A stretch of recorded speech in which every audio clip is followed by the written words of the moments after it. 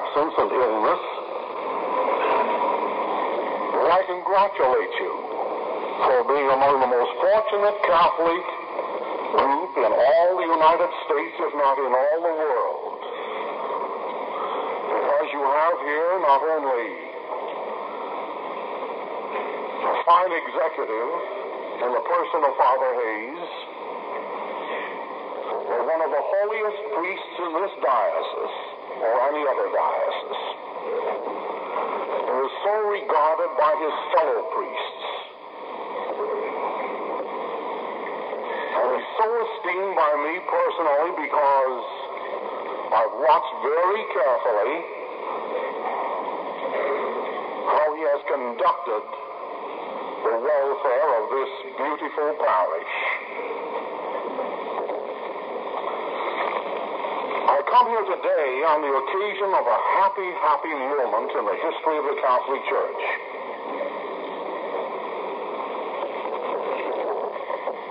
You know the occasion for Vatican II when it was summoned by John the 23rd. The Venerable Holy John the 23rd had been the papal nuncio of Paris. He also had been the Cardinal Archbishop of the Venetian parish, Venetian diocese.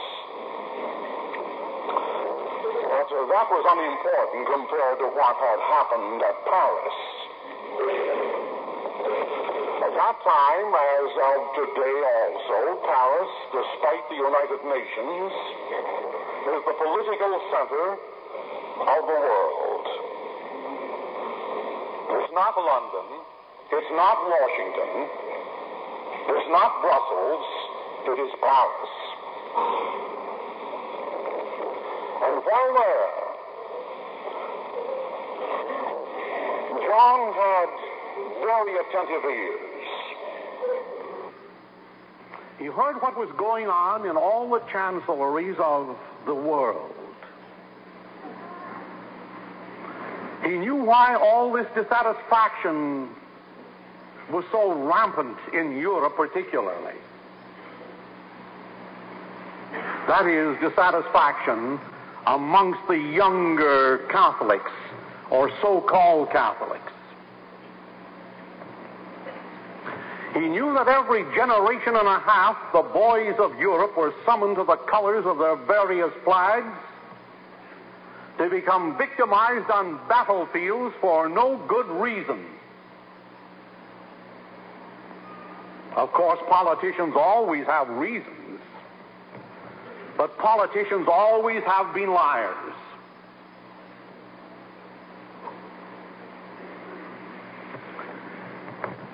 He also knew that the laity in Europe blamed the Catholic hierarchy for not protesting.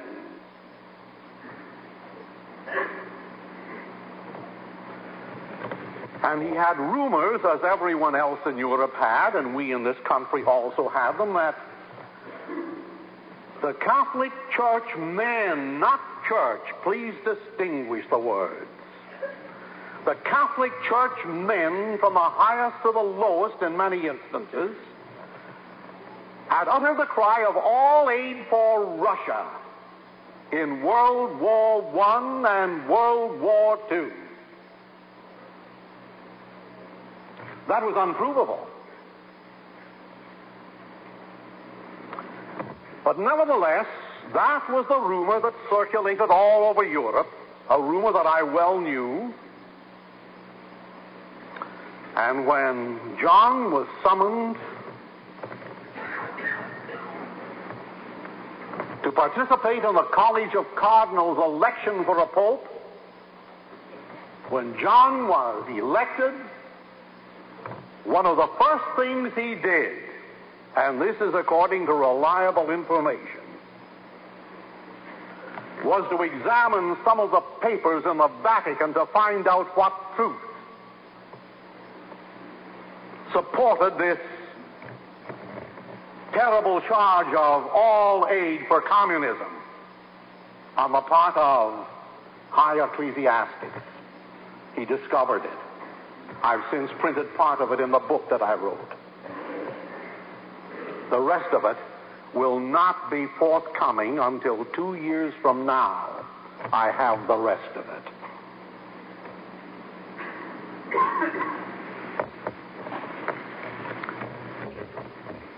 After the venerable blessed Pope John had read this, he knew there must be another Vatican Council. He knew it had to be. And he summoned it, and his forces were unprepared to handle it. But the forces of his antagonists in the church, I'm not going to mention these priests by name. They're well known to all priests, though. I could, but I won't from a pulpit. They were well organized, and they disrupted Vatican II in part because they controlled the news media, they controlled the radio, they controlled the television throughout the world. And what you read in America was not always the truth about Vatican II.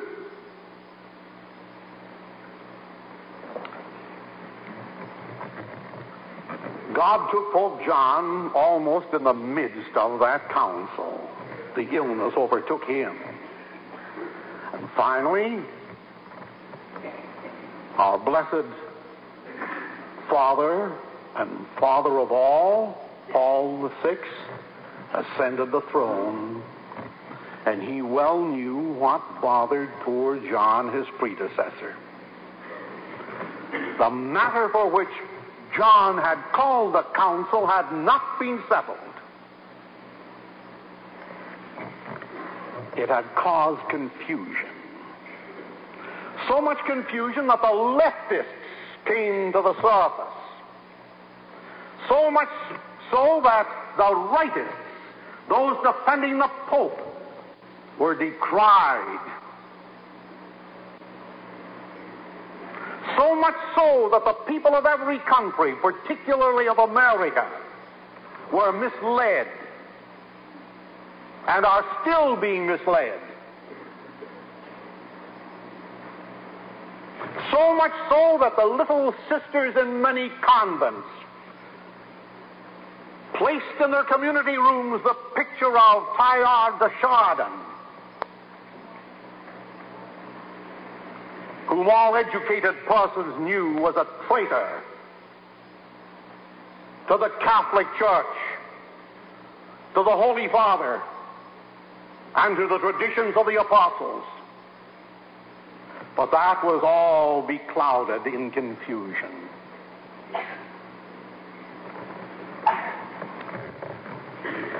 Paul VI knew that the confusion had to be dispelled. Paul VI waited for this holy year to reassemble a synod of bishops who terminated their findings just yesterday. Who clarified the position of the Catholic Church just yesterday. Who let the light shine in on Vatican II so that the whole world can read it just yesterday. It's a new day for the Catholic Church militant in this nation. It's a new day when the confusionists will be decried. Now, in the United States, we have no business relying upon the public media for news that is reliable on matters theologic or on matters historic inside the Catholic Church. You have no expression in this country that is worthwhile in the public news media. For example, just recently, His Eminence Cardinal Cooke of New York and his Chancery office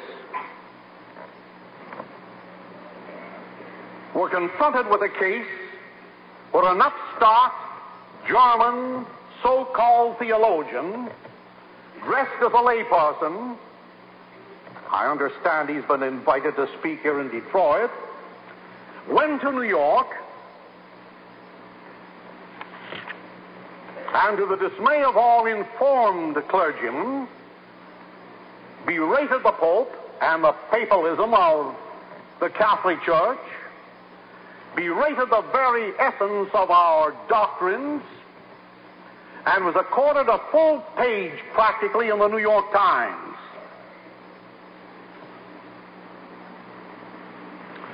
Cardinal Cooke wrote a reply.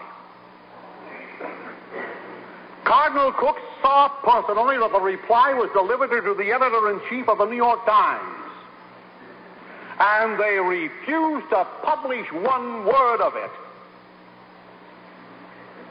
That's history. Maybe the newspaper people in Detroit don't know about that. But you don't get the other side of the story that favors Paul VI.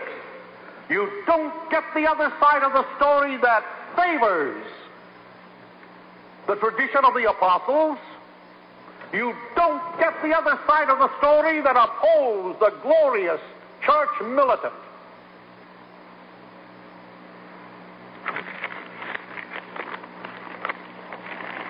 On October 4th of this year, There's an abbot in Paris who writes a daily article for Le Figaro, the most prominent paper in Europe, outside the London Times.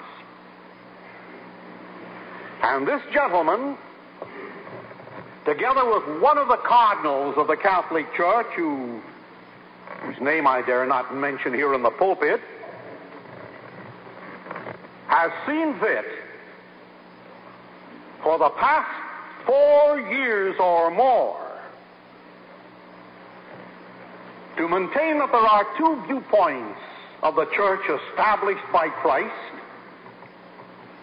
one that is outmoded, the other that is about to be born. The very, very patient Paul VI kept silent. The Cardinal of Paris kept silent. He could not berate a fellow cardinal. But finally, matters attained such prominence throughout the world that two weeks ago, the most scholarly, erudite, and capable cardinal in the Catholic Church Cardinal Danielou, a Jesuit, together with the Osservatore Romano and its editor, that's the papal paper, both attacked their fellow cardinal the first time in over 300 years that such an attack was made. And they exposed him. The Catholic Church, of course, teaches that the priest is a divine creation. The Catholic Church, of course, teaches that to thee do I give the keys of the kingdom of heaven, feed my lambs and feed my sheep, expressed in the singular and not in the plural, expressed to one apostle and not to all apostles, expressed to Peter but not to Andrew, James, and John and the others, he who heareth you heareth me, said the founder of our church. But this newborn cardinal, this newborn abbot, using the public media of Le Figaro, the most prominent paper in Paris, and other papers that copied it,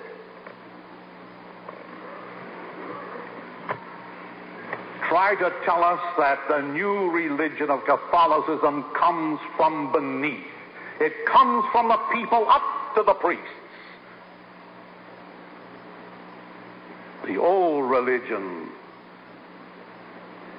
and its teaching that religion and faith comes from above down to the priest must be cashiered, said he. Well, until Cardinal Danielou, as I say, the most erudite of all the cardinals we have, and until the Osservatore Romano, the most important of all Catholic papers we have, took up the cudgels, you were confused. But stop being confused this morning. Three popes who have forbidden the books of Teilhard de Chardin even to be housed within a Catholic convent or a Catholic rectory paid no attention to what Pius the Twelfth, John the Twenty-third, Paul the Sixth said.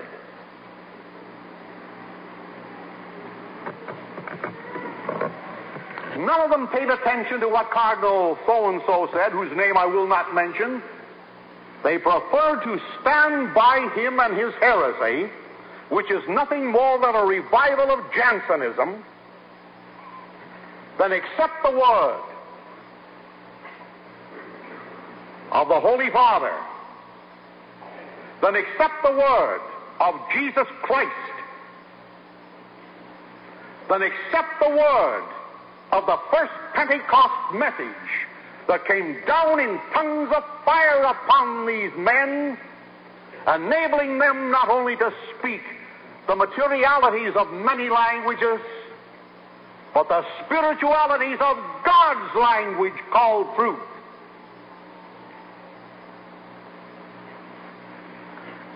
I come here this morning to bid you stand by the Pope. Stand by the findings of the Synod, whose work was concluded yesterday. This morning's paper that I read before coming here tells us how this matter of celibacy, for example, merely squeaked through. That's a lie. It was almost unanimous that you cannot have a married clergy and have the missionary activities of the church militant that unfortunately was more or less silent this last 40 years or more. But we're no longer the church cowardly. We're no longer the church confused today. We again are the church militant. We're again ready to fight for truth, fight for the Holy Spirit, and to take up the cudgels, the weaponry, which St. Paul so ably described. So therefore, revive your devotions to the Mother of God, the protectress of our church. Revive your devotions to the holy sacrifice of the Mass, and let them no longer deceive you that the Mass is a meal. I remember Hilaire Belloc, who was one of my collaborators in social justice. One day Hilaire said to me, Father, do you know the most important adverb in the whole Bible? I says, Hilaire, it never entered my mind to question it. And he says it's the word after. I said, why do you say so? He says, you know, we're in England, we're beginning to confuse the Last Supper with the First Supper. The Last Supper, said Hilaire. What did that mean? It was the Last Supper of the Old Testament, the Last Supper of the old regime. And if you read carefully, he says that after the supper, after the supper, then he took bread into his venerable hands, blessed and broke, and said, Eat all of this. After the supper, he took the chalice and said, This is my blood of the New Testament, not the Old Testament.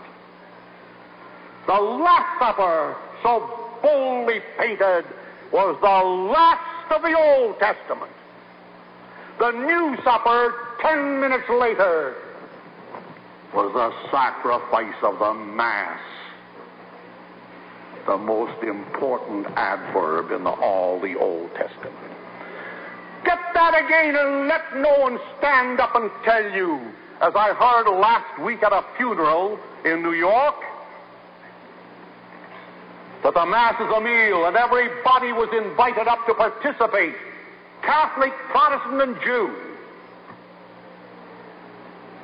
in the distribution of the species of our Lord Jesus Christ. And there was a little sanctuary boy, about seven years of age. There he held a great chalice in his hand, following a priest who dipped bread into it and sprinkled it over the floor as well as giving it to the people. What a sacrilege.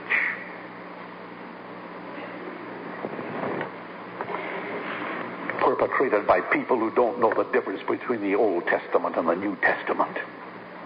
Perpetrated by people who don't know the Last Supper was the Last Supper of the Old Testament. And that the Mass is the first supper of the New Testament. Things like that. But however, I have little time here today except to advance you in the pursuit of your faith. You know, the end of the world hasn't come. You know, it's a truism in our Catholic religion that you can cast your faith away, but if you do so, say farewell to hope, say farewell to charity. For the three of them hang together like the Blessed Trinity. Destroy one and you destroy all. Hold one and you must hold all. And today you're almost ready to say, Where's our hope? Your hope is in this church. Your hope is at that altar. Your hope is in men like Father Hayes. Your hope is in men like the fighting Cardinal Danielou. Your hope is not in the secular press. Your hope is not in politicians. You know, these are peculiar days. We have so-called conservatives and so-called liberals in politics, so-called Republicans, so-called Democrats in politics. They're all the same. We have an administration in Washington today, the executive, the legislative, and the judicial, who are the most outright extremists that we've ever had in the history of this country. It was they who supported the abortion laws. It was they who supported the integration laws and the busing of schools. It was they who did what Lenin and Stalin told years ago that you must force the kulaks and you must force the rest in one country, in one school, in one assemblage. And we lived in America to see that effort made by the so-called conservatives. Strict, strict Marxism. Strict, strict Marxism. Stand by your children. Stand by a new bishop that's becoming forward in this country, Archbishop Manning of Los Angeles, who took it upon himself two weeks ago to revive the old concept of the nunnery, to revive the old concept of the sisterhood. And he's had more postulants coming to him for this than he can handle.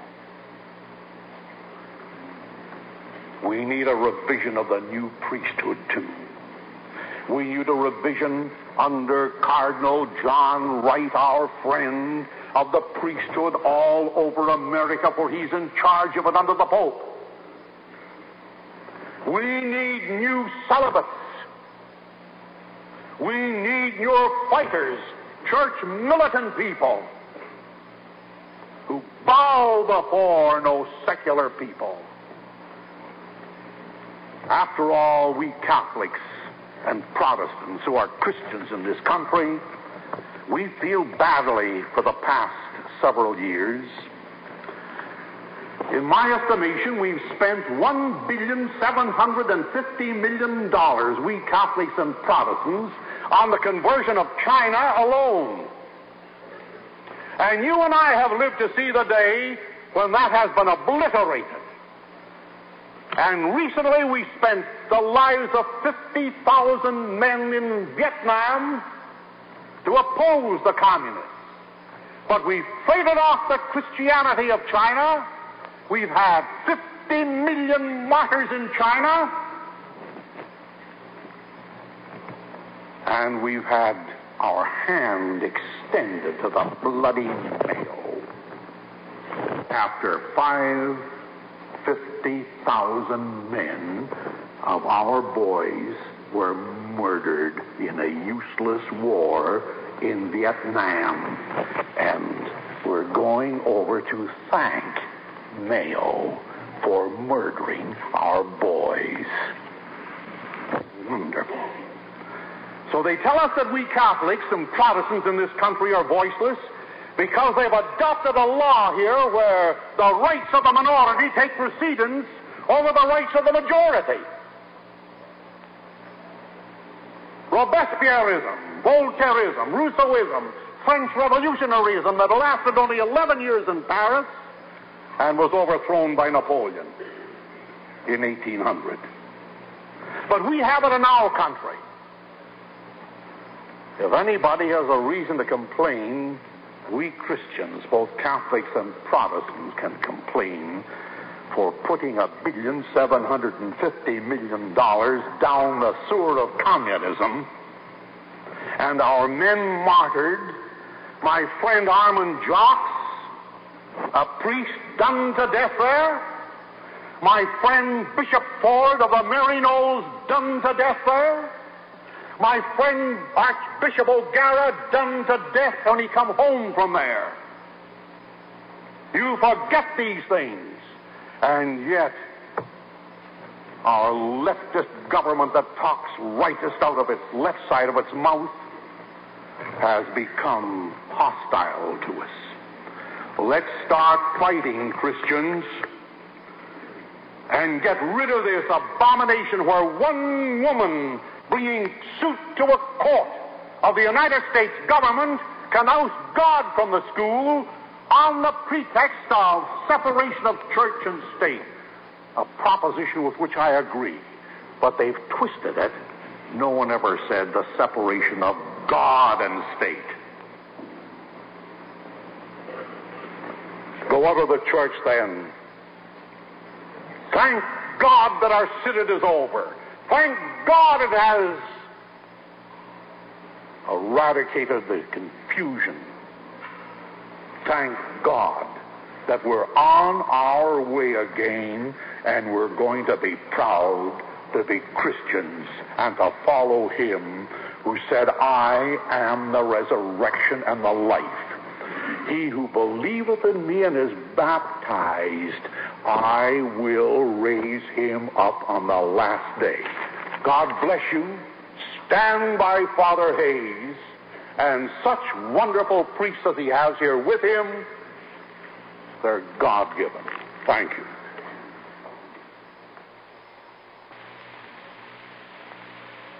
Made at the 12 noon Mass on November the 7th, 1971, at the Shrine of the Little Flower.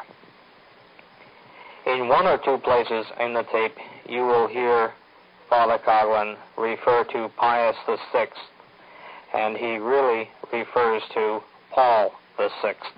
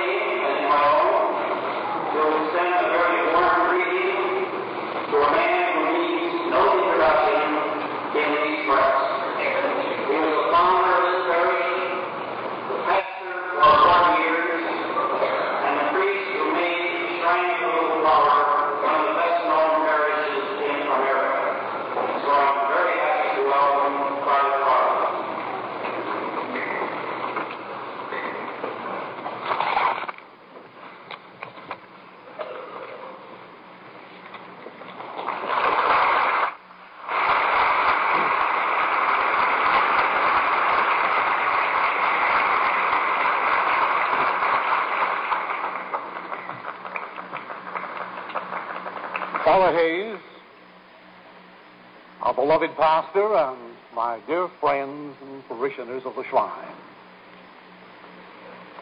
It is indeed a singular pleasure for me to be present here today. This is my home. And I hope one day that my corpse will be carried from the doors of this church.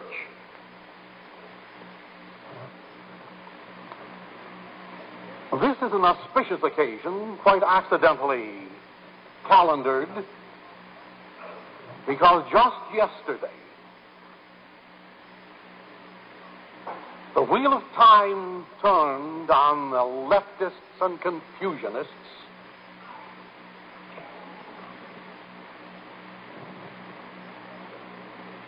God is in his heaven.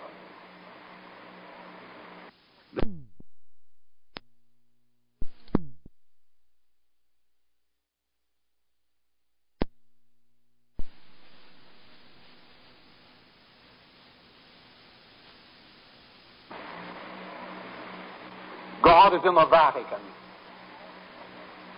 God is in the voice of our beloved Pius VI.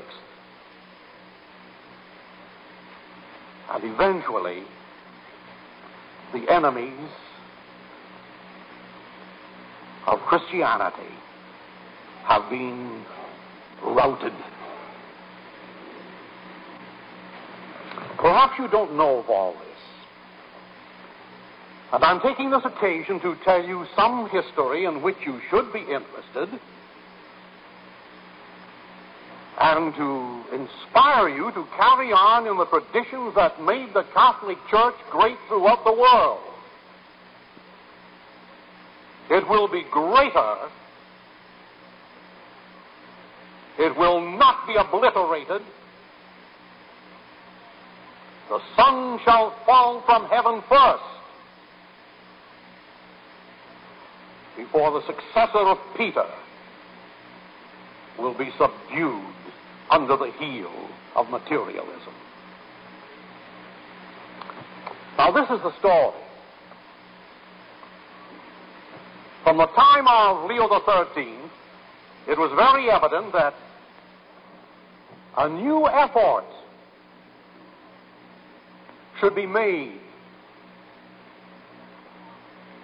by the hierarchy of the world to preach the gospel of Christ. To preach it without fear. To preach it even though it be in contradiction to the gospel of mammon which created 175 wars in Europe alone over the last 300 years.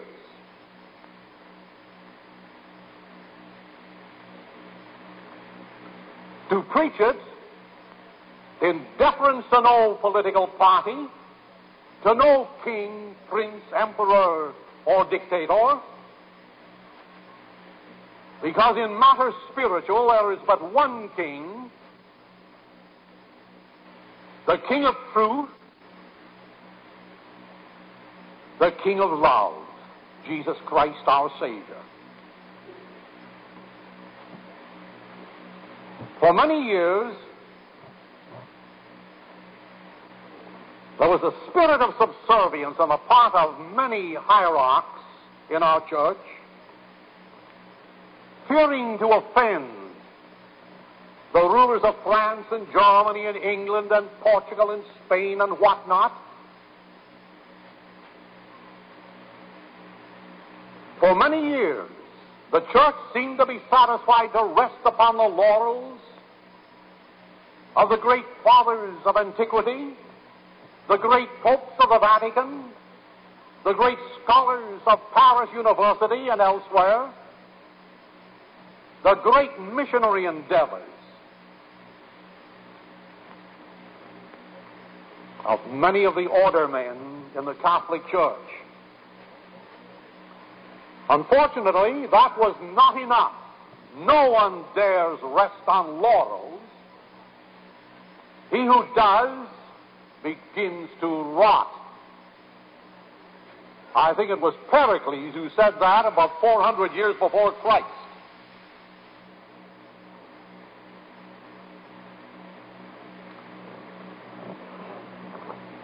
And so, following the birth of Marxism, following the rebellion against the rulers of Russia and the ascendancy of Stalin and Lenin,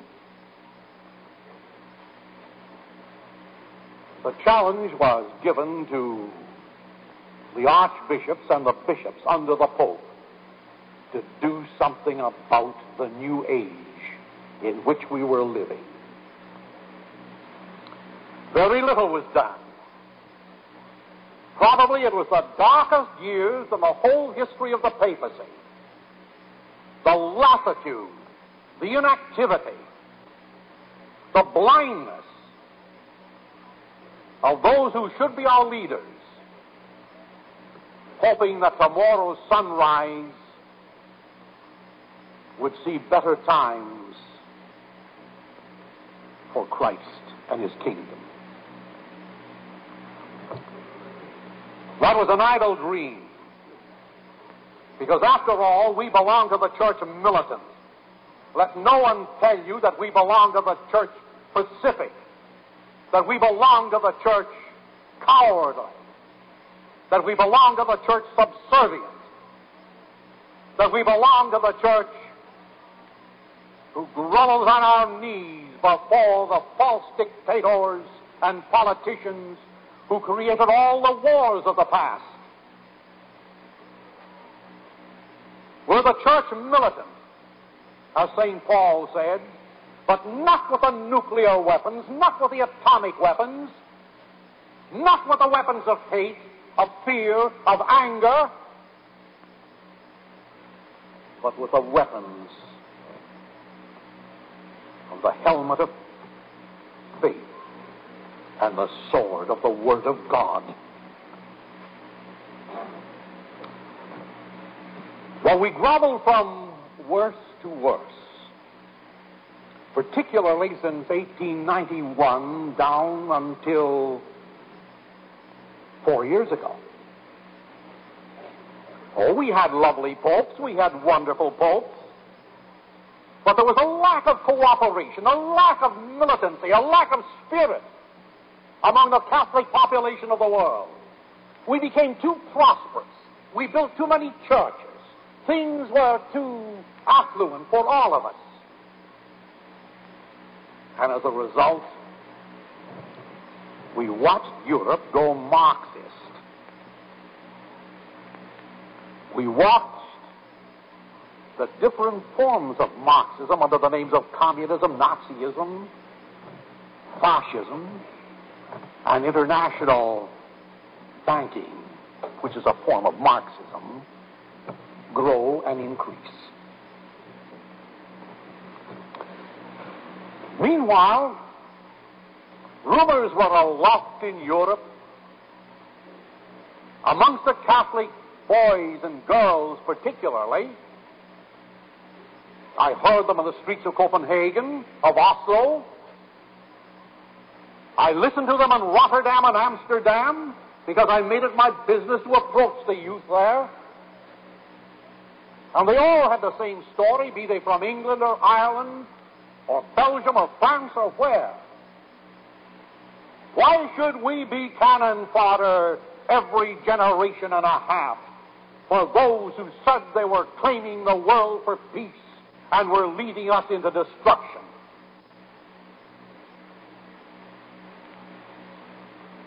The youth really had something to complain about if you count the years of warfare. Now, this rumor was very, very vibrant in Paris. Paris then and now is the center of the political life of the world. It's not Washington, it's not London, it's not Moscow, it's Paris. There's where the pulse is felt. And at Paris, there was a venerable cardinal. He was Pope John the 23rd. And he listened to the ugly rumor that the Catholic Church, in its prelates and higher officers, had uttered the phrase of all aid to Russia at the beginning of World War II.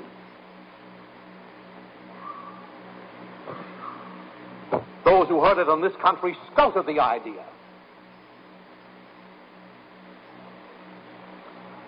Many Europeans refused to accept the idea, but it persisted to be the rumor throughout Europe and was down to the ranks of the boys and the girls and their ugly hair and ugly dress and ugly manners on the streets of these cities I mentioned before. Eventually, Pius XII died. Meanwhile, from Venice, journeyed John the 23rd to the conclave of cardinals. Lo and behold, he was elected pope. And one of the first things he did was to investigate the files of the Vatican to see what truth there was in this rumor so widespread. Lo, he found it was true. It was more than a rumor. Well, I had the occasion to be the first one in this country to publish part of it with documentary evidence.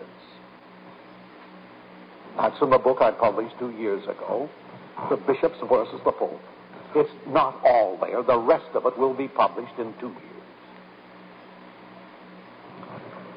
So the first thing that John the 23rd did was hasten the calling of Vatican II.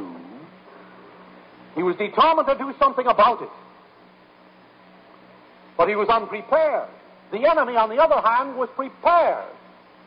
And they had a lot of upstart theologians who were more Hegelian and Kantian and communist in their theories of life than they were Catholic and Christian to oppose them. They were the outriders at Vatican II. They had control of the press, of the magazines. They had control of the radio and of the television. And they were cited and they were paraded before the public of America, Canada, South America, everywhere, to such a degree that we Catholics here were brainwashed as we were never before, as were the Catholics of Europe. Vatican II was a failure, so they tried to say. Vatican II was a heyday for the leftists and the radicals to establish a new type of Catholicity. Vatican II was the graveyard of Thomas of Aquin and Bonaventure and the birthplace of Teilhard de Chardin.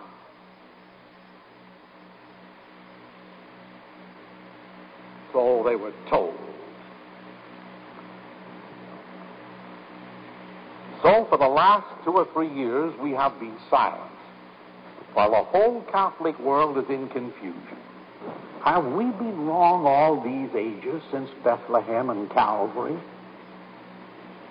Has Christ been an upstart who didn't know what he was talking about when he says, I am the way and the life? Was Christ nothing more than a charlatan when he says, He who heareth you heareth me, as he pointed his finger at Peter? Well, it would seem so, judging by the press, judging by the lassitude on the part of the priests and many of the bishops. Nothing new, of course, to those who knew history. We knew that in the days of the Arians, 80% of the bishops had turned heretic. We knew in the days of the Nestorians, in the days of the Jansenists, Nearly 50% of the bishops had turned heretics. It was nothing new. There was always a Judas Iscariot, and there always will be Judas Iscariots. There was always a doubting Thomas, and there always will be doubting Thomases. Nothing new. But the damage was done. And Here the bishops came home from their conclave, 2,400 of them following Vatican II. Ecumenism was a great word. Some of them found the hours too short for them to appear in non Catholic pulpits to join hands with heresy. Some of them thought ecumenism meant one religion as good as anotherism. Some of them thought that ecumenism meant there is no truth except that truth which a man thinks for himself in his own mind. Some of them thought, henceforth let your conscience be your guide. If you think it right to stick up a gas station or murder a clerk, do it.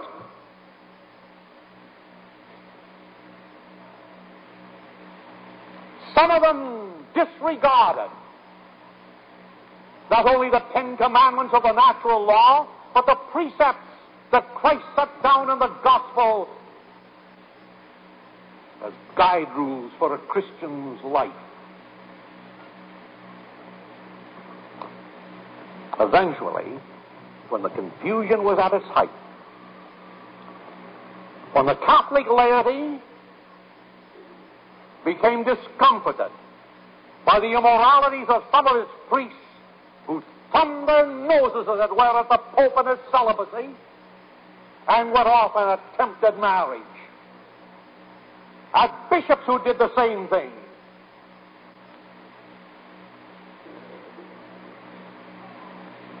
Some of them succumbed to the thought that the sacraments are no longer necessary because there's no more sin on the basis of let your conscience be your guide.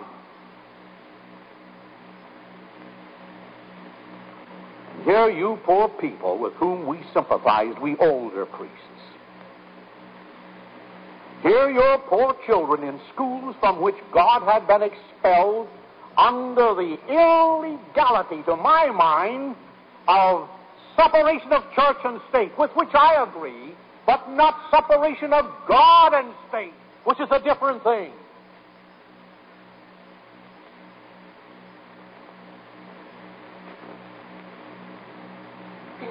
Those pitiful days have passed because Pius VI, with his able adjutants, assembled about him the brains of the church, as well as representatives of the hierarchy of the church to convene in synod, which ended just yesterday. This was different than Vatican II. The excessivists who had control of Vatican II, as far as the public press was concerned, were not there.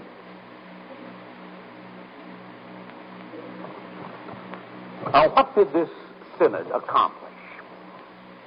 Well, first of all, it accomplished this something that every able bodied and minded priest knew would happen.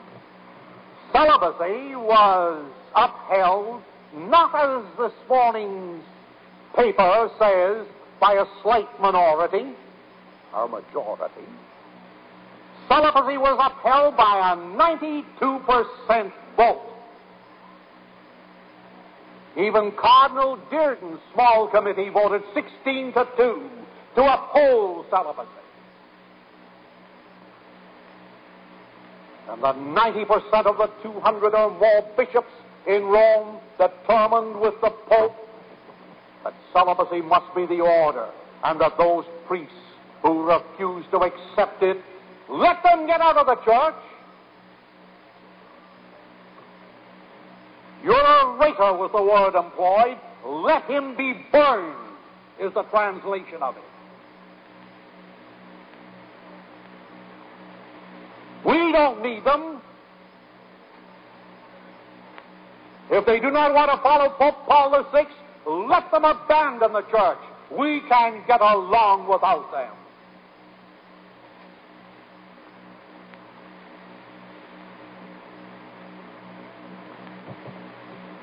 But more serious than this,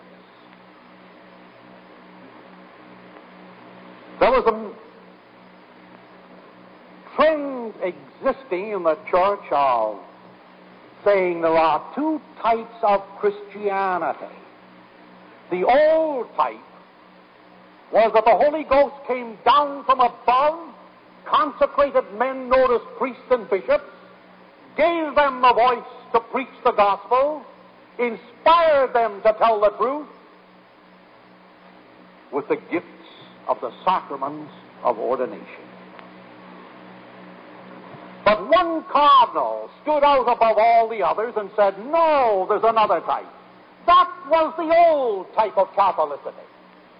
The new type is religion comes up from below. It comes up from the hearts of the people. It comes up from the pronouncements of the people. It comes up from the attention one must give to the questions of polity, to the questions of internationalism from the people.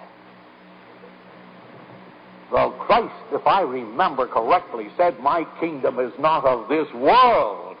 Nothing comes up from the people except obedience, except faith in the Christ who proved he was God by standing before the courts and saying, Destroy this temple, and in three days to prove that I'm God and my gospel is godly, I will build it up again.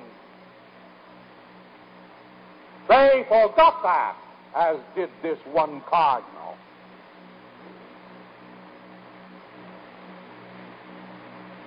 So it ended this wise. It is bemeaning for Paul VI or a pope to step down into the common rostrum debate a subject with any of his inferiors,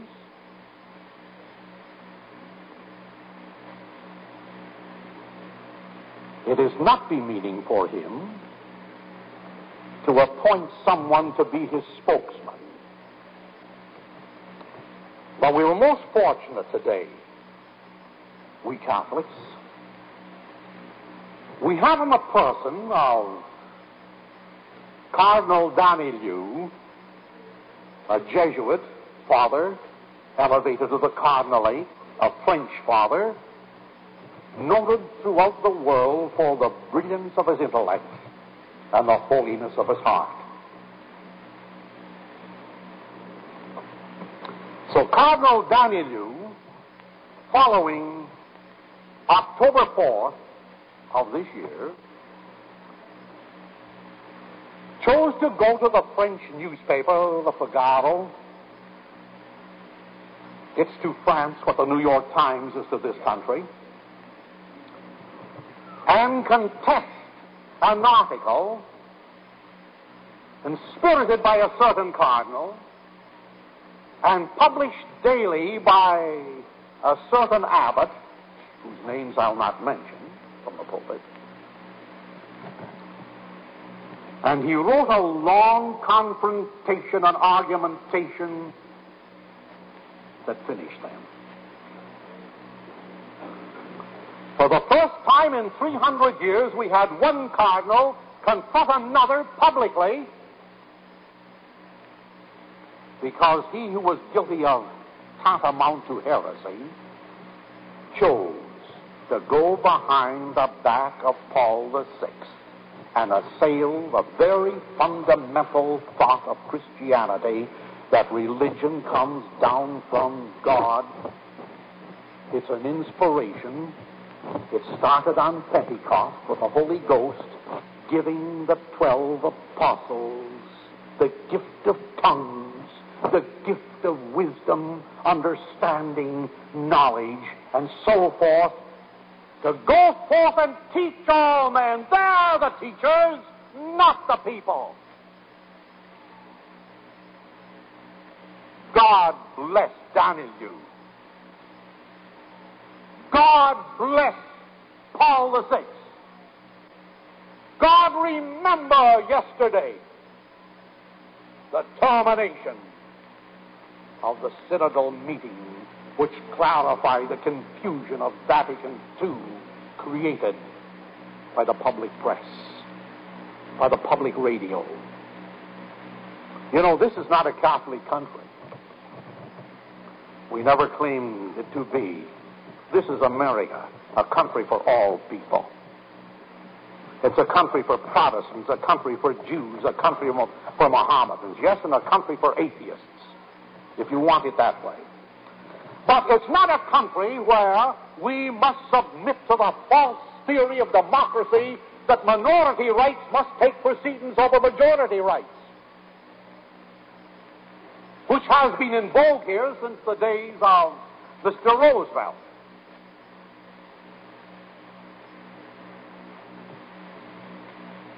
One experience is that one lady took her case before the Supreme Court to put religion out of the schools, and she, a million to one, won her case.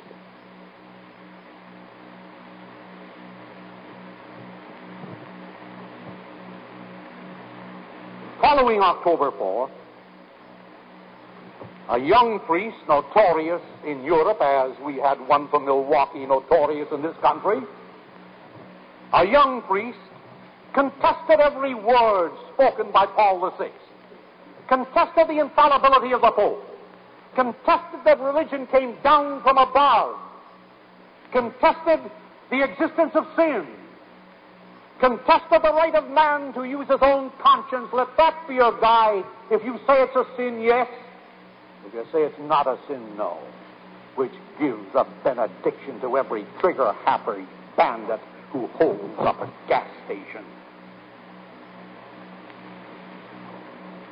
Well, this young man who's going to appear in Detroit recent next few weeks or so, a few days, got a full page publicity in the New York Times.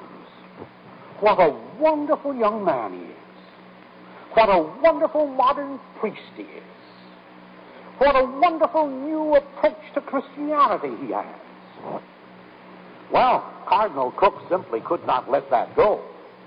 And he and his faculty at Madison Avenue wrote a long letter to the New York Times, the paper that's notorious for all the news that's fit to print, you know. And they refused to print one word of it.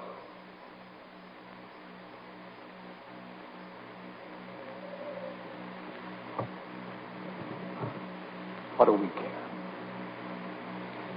We're remembering the age in which we live. We're remembering the type of country in which we live. A country where those conservatives, those who are upholding the Constitution most, have been responsible for putting their benediction upon abortion, upon minority rights taking precedence over majority rights, upon busing, upon integration of every type. And last but not least, the China incident. A little history. We Catholics and Protestants in the United States have spent close to $1,750 million on supplying missionaries to China, Korea, Cambodia, North Vietnam, and elsewhere in Asia. Now we've washed all that down the drain. Some of my friends went down the drain with it. Martyrs. My classmate, Armand Jacques, Maryknoll father. My friends, close friends, Bishop Ford of the Maryknoll Fathers. Two bullet holes in the back of his head. Bishop O'Gara, who said Mass here for you at the shrine in my day, came back broken, five years in tormental jail. 53 million Catholics murdered since Vinegar Joe Stilwell and his crowd of communists in our side, our government, took the part of the communists in China and betrayed the Christians in China.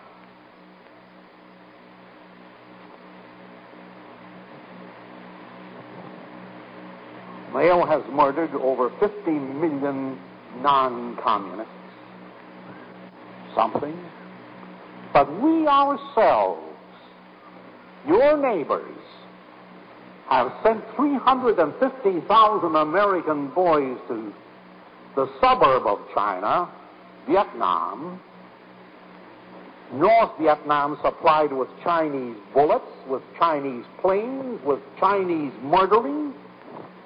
And 50,000 of those boys are corpses over there. Now,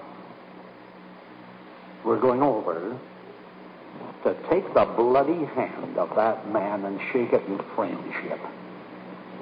50,000 bodyguards will stand on either side of the red carpet of that plane in ghostly form to say, Well done, Mr. President. We died in vain. Well done.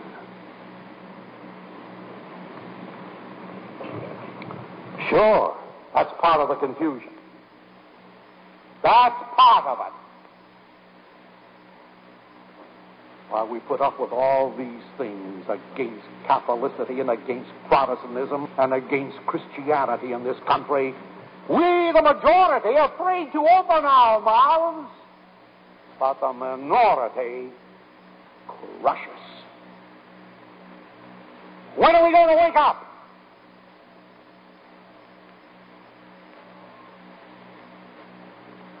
You know, long enough we've been the church timid. We've been the church obsequious. We've been the church cowardly. We've been the church silent. Since yesterday, following Cardinal Daniélou, following the spokesman for the Pope, we're the church militant again.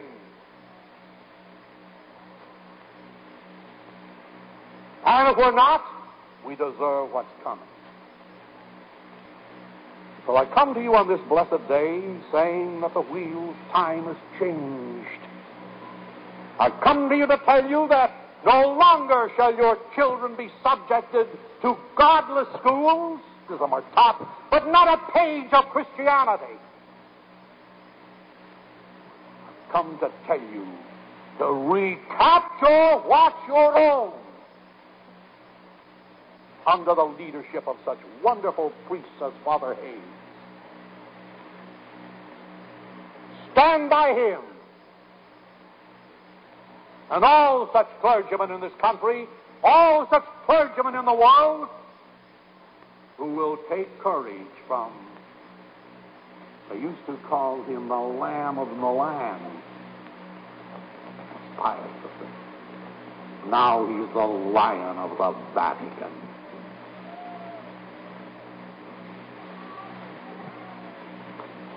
You have the voice of God on your side.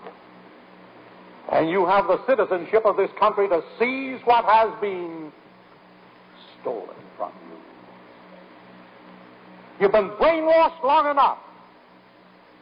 And you're not going to succumb to communism despite the Marshall Plans, despite the Stilwells, despite the Alger despite those who've sold China down the bloody river of red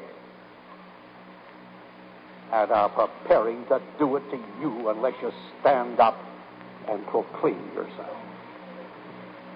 This is a blessed day. It wouldn't have happened except for Pius VI. It wouldn't have happened except this cardinal, whose name are not mentioned, invited the repercussions of Cardinal Daniélou, a man sent by God, the Athanasius of this time, the Athanasius of our days, who will defy the world in the name of the Christ whom he loves and for whom he dies. God bless you.